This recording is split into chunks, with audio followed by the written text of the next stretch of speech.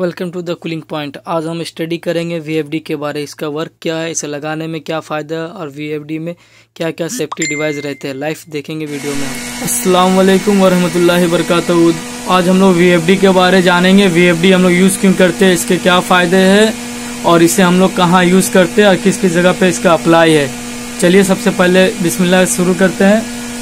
वालेकुम दोस्तों cooling point में आपका स्वागत है। आज हम स्टडी करेंगे वीएफडी के बारे में। वीएफडी हम लोग कहाँ कहाँ अप्लाई करते हैं और इसके फ़ायदे क्या है और इसे लगाने से हमें सेफ्टी क्या क्या क्वेश्चन है इससे सबसे ज़्यादा फ़ायदे जो होते हैं, किस वजह होते हैं। दोस्तों वीएफडी क्या है, इसके बारे में तीन टॉपिक पे हम लोग बात करेंगे। वीएफडी क्या है, इसे यूज़ क्यों करते हैं और इसके फ़ायदे क्या है।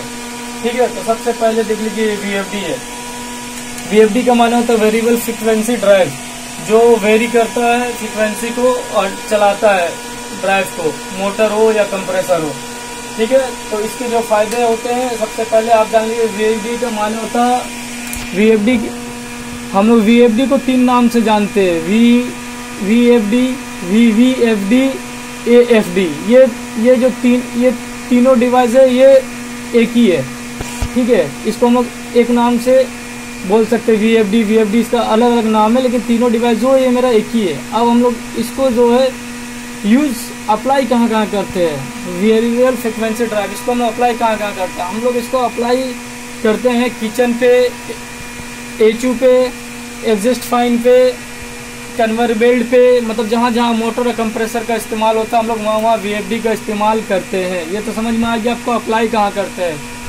वन टॉपिक अप्लाई कहाँ करते हैं, ये खत्म हो गया। अब हम लोग इसको यूज़ किस लिए करते हैं, हम उसका स्टडी करेंगे। सबसे पहले इसमें ध्यान रखिए, जो अगर हम लोग पहले जो हम लोग को विधि थी चलाने का मोटर को तो हम लोग उस पर dual starter start delta soft starter auto transfer starter हम लोग इस इस प्रोसेस से हम लोग पहले मोटर को ऑपरेट करते थे।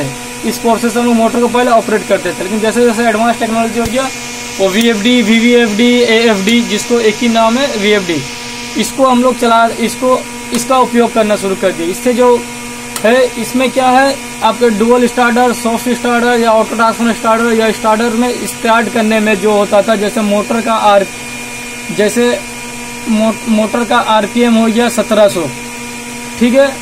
इसमें क्या था इस इस इस विधि पे स्टार्ट करने पे इस कनेक्शन पे स्टार्ट करने से जैसे मोटर का आरपीएम है 1700 आरपीएम 1700 है। तो इसमें क्या होता है, इसका पुश बटन जैसे हम लोग ऑन करते थे तो motor direct motor direct 1700 RPM में वर्क करना लग जाता था। मोटर डायरेक्ट 1700 आरपीएम में वर्क करना शुरू कर देता था। इसकी वजह से क्या होती थी, जब मोटर हमारा स्टार्ट होता था तो इससे तीन से पाँच गुना ज़्यादा वोल्टेज लेता था। मतलब तीन से पाँच गुना ज़्यादा वोल्टेज लेता था। जैसे नॉर्मली मोटर का एम्पेयर होना चाहिए सेवन एम्पियर लेना चाहिए, मान लीजिए। तो इसमें क्या होता? ये जब हम लोग इस इस इस इस पे अप्लाई करते थे, इसका, इसके पुश बटन से स्टार्ट करते थे, इस कनेक्शन पे तो मोटर मेरा डायरेक्ट डायरेक्ट जो है मोटर मेरा डायरेक्ट जो है 21 से लेके 25 एम्पियर तक लेना शुरू कर देता था। तो इसकी वजह से जो होता था, बिजली का कॉस्ट पावर का कॉस्ट जो है, वो मेरा बहुत ज़्यादा आता था, ठीक है? पावर का कॉस्ट बढ़ जाता था। दूसरा है कि मोटर का लाइफ घट जाता है, ठीक है? सबसे पहले बिजली का कॉस्ट इसमें बहुत जाता था और इसमें काफ़ी ज़्यादा प्रॉब्लम होता था। मोटर का लाइफ भी आप वी और ए एफ़ डी या वी एफ़ डी में इसमें क्या फ़र्क है? सबसे पहले है कि हम लोग इसको मोटर के स्पीड को फ्रिक्वेंसी को हम लोग इसको कंट्रोल कर सकते हैं। फ्रिक्वेंसी को हम लोग इसको कंट्रोल कर लीजिए। मान लीजिए मेरा मोटर है 1500 आरपीएम का। 1500 आरपीएम का। जब हम लोग, जब हम लोग वीएफडी से ऑपरेट करते हैं तो 1500 आरपीएम को हम लोग मोटर का जो स्पीड होता है, उसका हम लोग कंट्रोल कर सकते हैं। मतलब मोटर को स्पीड कंट्रोल करने के लिए, उसका फ्रिक्वेंसी कंट्रोल करने के लिए हम लोग वीएफडी का यूज़ करते हैं। तो क्लियर हो गया। अब मान लीजिए हम लोग वीएफडी से इस्तेमाल कर रहे हैं तो हम लोग को अगर चाहिए होगा कि इसको जो शुरू में शुरू में एक मिनट एक मिनट मान लीजिए हम लोग इसको पाँच फाइव फाइव हंड्रेड आरपीएम में हम लोग इसको चला सकते हैं। उसके बाद हम लोग 10 मिनट बाद 10 मिनट बाद हम लोग को अगर इसको चौदह 1400 आरपीएम में चलाना है तो हम लोग इसको चला सकते हैं सेटिंग के वजह सेटिंग करके, ठीक है? तो एडवांस जो है इसमें ये है कि हम लोग इसको स्पीड को कंट्रोल कर सकते हैं और अपने रिक्वायर्ड के हिसाब से हम लोग इसको मोटर के स्पीड को कंट्रोल कर सकते हैं। इसीलिए हम लोग वी का यूज़ करते हैं। अब मान लीजिए हम लोग को मोटर को कंटिन्यू चला पंद्रह सौ आरपीएम का मोटर है, हम लोग को कंटिन्यू चलाना है, तेरह सौ आरपीएम का ही रिकॉर्ड है। तो इसमें हम लोग तेरह सौ आर आरपीएम में हम लोग 24 आवर चला सकते हैं। और ये जो dual starter auto transformer starter starter soft ये सब में हम लोग ये नहीं कर सकते कि जो मोटर का आरपीएम हम लोग वही हिसाब से हम लोग इसको चला सकते हैं। इसमें क्या होता है वीएफडी वर्क कैसे करता है? वीएफडी हमारा मोटर का ज़ीरो से लेके 1500 आरपीएम 1500 आरपीएम तक इसको लेके जाता है स्लोली स्लोली ज़ीरो से लेके 1500 आरपीएम तक, ठीक है? ज़ीरो से लेके 1500 आरपीएम तक डायरेक्टली नहीं बढ़ेगा। ज़ीरो ज़ीरो से लेके वन टू ऐसे करके स्पीड बढ़ता है। जैसे ट्रेन का स्पीड देखते हैं ना ट्रेन जब स्टार्ट होता है तो train one two three four five इस तरह से मतलब स्पीड जो है इसका धीरे धीरे धीरे धीरे बढ़ता है। अब इसको ऑफ़ में भी उसका है मतलब 1500 आरपीएम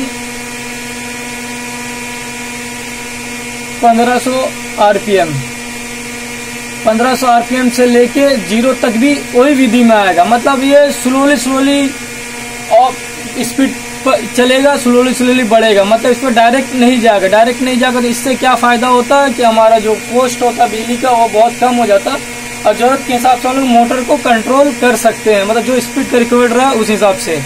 अब भाई हम लोग इसको सेफ्टी ये जो हमारा सेफ्टी हम लोग सेफ्टी सेफ्टी में देखते हैं। इसमें अगर अर्थ इसमें अर्थ फोल्ड होगा तो वीएफडी आगे जो होता मोटर को ऑन नहीं करता है।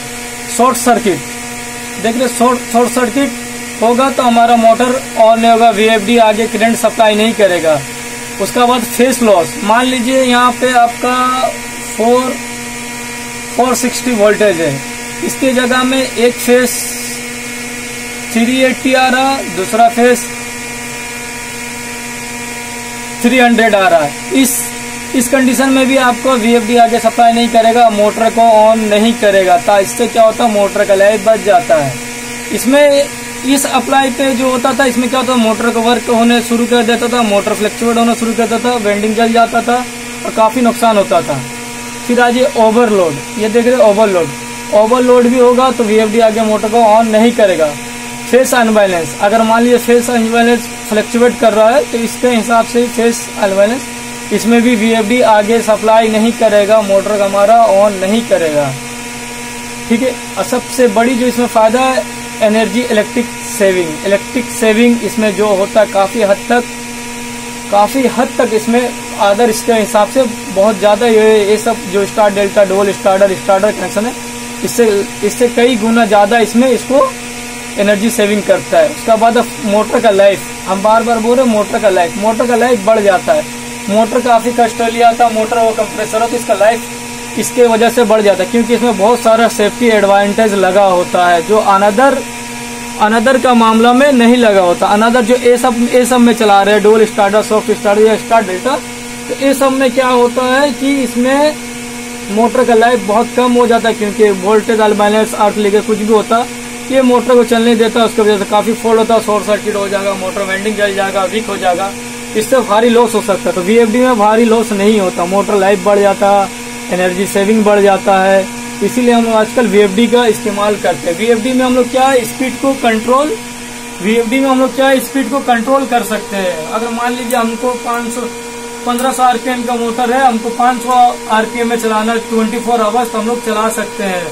1700 आरपीएम का है तो हम लोग 10 मिनट का बाद चाहेंगे 10 मिनट 500 आरपीएम में चले, बाकी 10 मिनट बाद 1500 आरपीएम में चले, फिर 15 मिनट बाद सत्रह सौ आरपीएम आ जाए तो हम लोग उसको भी वीएफडी से कंट्रोल कर सकते हैं। इसमें ये सारा फ़ायदा है।